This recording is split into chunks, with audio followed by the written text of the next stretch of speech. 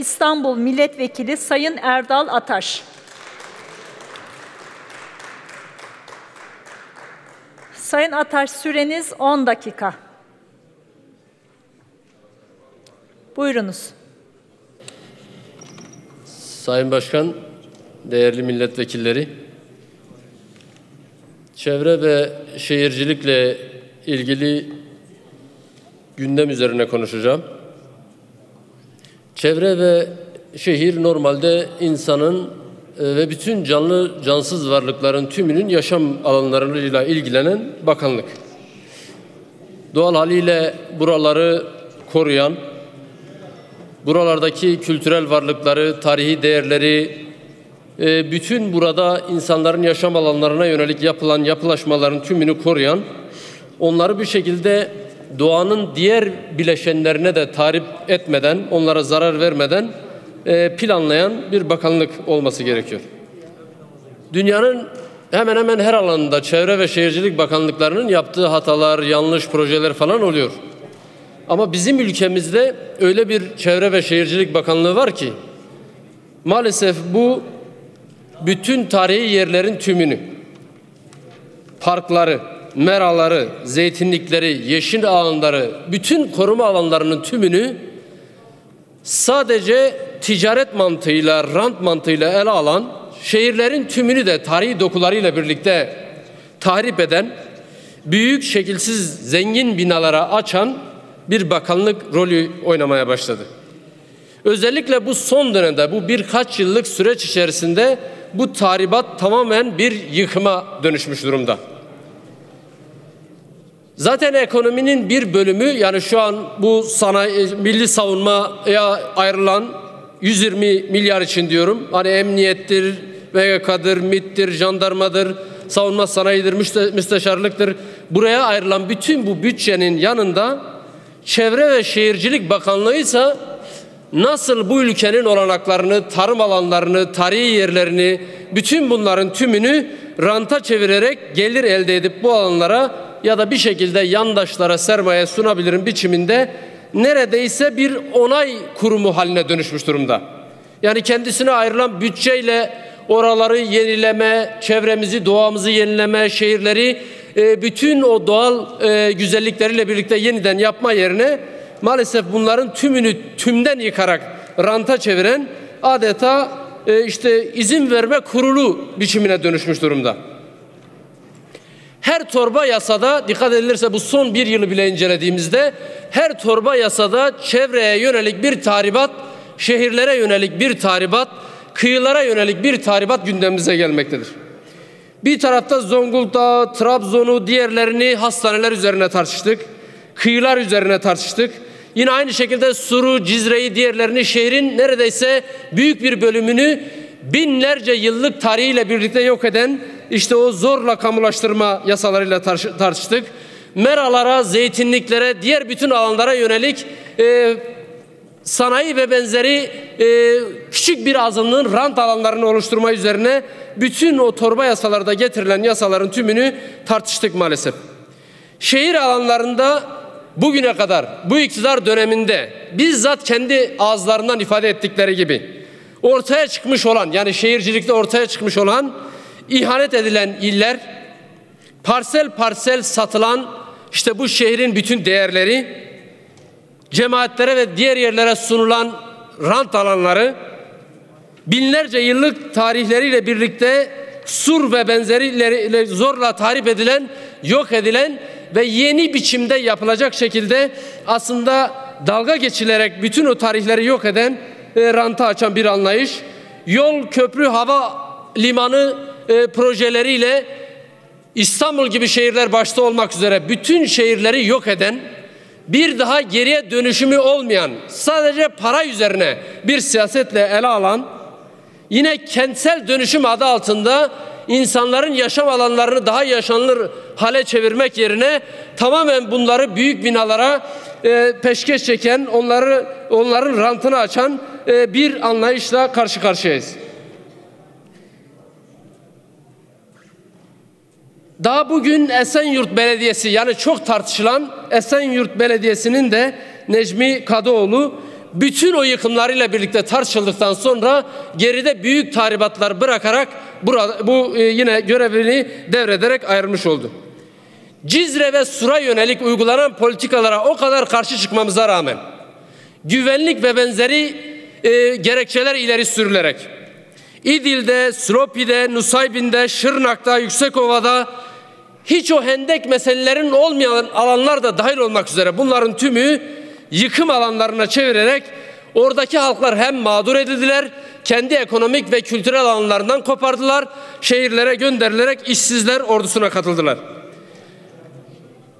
Avcılık ve diğer meselede de hayvanlara, sokak hayvanlarına ve diğerlerine yönelik büyük bir katliam hala devam ediyor. Bu noktada da maalesef bunlar bir şekilde bu Çevre ve Şehircilik Bakanlığı ona bağlı olarak diğer bakanlıklar tarafından engellenmek yerine bunlar daha çok özendirilmekte ve bütün o sokak hayvanları dahil bunların tümü de e, yaşamlara, e, şehirlerdeki otomobil ve benzeri kazalarına terk edilmektedir. Şimdi tam teşekküllü bir yasa daha gündeme getirdiler. Yani bütün bu tahribatların tümüne karşı sürdürülen mücadelelerle kazanılan tüm haklar, tüm mahkemelerin tümü yeni bir yasa tasarısıyla tekrar gündeme getirilerek tüm kazanımların tümü ortadan kaldırılmaya çalışılıyor. Yeni yasada ne var? Üstün ulusal çıkarlar, koruma yararlı, strateji, güvenlik, ülkenin merkezi planları adı altında bütün koruma alanları yani tabiat alanları, yaban hayatı koruma alanları, mutlak koruma alanı olarak geçiyor bunlar. Milli parklar, tabiat parkı, tabiat alanı, e, tür ve habitatı koruma alanlarının tümünü yani altı tane statü biçiminde var olan bütün bu çevreyle e, ilgili olan koruma alanlarının tümü yeni yasayla birlikte tamamen ranta açılmış olacak. Dört tanesi yani dört tane temel maddeyle bu meseledeki bütün o koruma zırhlarının tümü kaldırılmak istenmektedir. Nedir bunlar? Birincisi bütün o koruma alanlarının yanında şimdi e, Orman ve Su İşleri Bakanlığı bütün diğer bakanlıkları da bir tarafa bırakarak yani tarımdır, işte çevre ve şehirciliktir, e, diğerleri de daha turizmdir. Bunların bir bütününü de bir, bir tarafa bırakarak bütün bu statülerin tümünü tek statüde toplayacak. Yani e, turizm alanında tarihi bir kenti ya da herhangi bir merayı diğerlerini bir parkı tek bir statüde toplayabilecek. Bütün statülerin tümünü iptal etme hakkına sahip olmuş olacak. Yine bu statüleri hepsine yönelik bunları daraltma istediğini istediği biçimde bu koruma kullanma biçimindeki dört statüye indirerek e, onları her şekilde e, rant alanlarını açarak onların kullanmasını sağlayacak. Yani bir şekilde çetlerle ya da mahkemelerle, diğer mücadelelerle birlikte elde edilen bütün bu hakların tümü bakanlığın bir kararıyla birlikte ortadan kaldırılmış olacak ve bu sürekli hale getirecek. Diyelim bugün koruma alanı olan, mutlak koruma alanı olan yarın bir şirket başvurduğunda istediği anda koruma alanı olmaktan çıkarılarak aynı anda e, bütün tahribatı aşmış olacak. Bunların yapmış olduğu tahribatların tümü hiçbir şekilde cezaya tabi tutulmayacak. Küçük cezalarla ya eski haline getireceksin getiremezsen de küçük cezalar ödeyerek bu meseleyi kapatacaksın biçiminde bir hakla da e, bir şekilde e, taahhüt altına almış oluyor. Doğaya yönelik yapılan bütün mücadelelerin tümü Cerattepe, Gezi ve diğerlerine yönelik bir tanesini kışkırtma olarak ele alıyor. Diğerini dış işte güçlerin oyunu. E işte Yeşil yola yönelik mücadelede Havva Ana'nın kaçak binası vardı. İşte onu orada ranta çevirmek için yapıyor diyor. Diğer tarafta işte bunlar bir e, bir avuç köylü diyor Bergama'dakine. Munzur'dakine bunlar ideolojik örgütlerin oyunu diyor. Diğer tarafta Hasan Keyfe işte siyaset rantı yapmak istiyorlar diyor. Ee, Kaz Dağları'na işi olmayanlar ya da bundan kendilerine sonuç çıkarmak isteyenler biçiminde suçlamalarla bu mücadeleleri de ortadan kaldırmaya çalışıyorlar. Yenilenebilir enerji noktasında bakanın dün ifade ettiği biçimde 1500 tane e, işte HES ve diğer barajlar yapılacak. Yine aynı şekilde nükleer santral yapılıyor. Dünyanın neresinde bütün bu kadar baraj ve nükleer santraller yenilenebilir oluyor? Yani eskiden bize Çernobil kazası sonrasında Karadeniz'de bir şey olmaz diyerek çay içen bakanın yerine şimdi de maalesef Çernobil'i bizim ülkemize getiren, Sinop'a getiren, Akkuyu'ya getiren bir bakanla karşı karşıyayız. Ve bunu da halka biz yenilenebilir enerjide birinci sıraya gideceğiz diye nükleer enerjisinin neresini yenileyebiliyorsa bu meselede de halkı kandırarak maalesef insanların bu rant alanıyla bu meseleyi e, halklarımızın zararına, ülkemizin zararına işlemeye çalışıyor. Her şey para değil.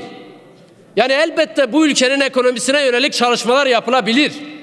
Ama öyle bir an gelir ki paradan vazgeçerek bu ülkenin zengin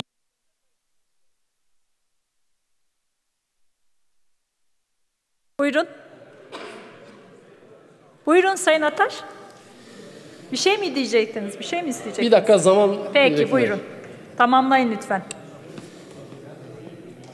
Yani bütün bunların içerisinde bizim yapmamız gereken birincisi o bu ülkedeki bütün bu meslek örgütlerinin, yöredeki halkların, onların kurumlarının, uzmanların ve yereldeki o bütün e, kamu kuruluşların tümünün dahil olmuş olduğu konseptlerle projeler işletilerek, yarıştırılarak en azından bu ülkede var olanı koruma, onlara yenilerini ekleme siyasetiyle bu meseleyi sürdürmemiz lazım. Tüm bunların yanında biz HDP olarak halklarla, ekoloji kurumlarıyla, canlı cansız varlıkların tümüne yönelik yapılan bu tahribat projelerinin tümüne karşı çıkmaya, ranta yönelik yapılan bütün bu politikaları da boşa çıkarmak için mücadele etmeye devam edeceğiz diyorum. Hepinizi saygıyla selamlıyorum. Teşekkür ederiz Sayın Ataş.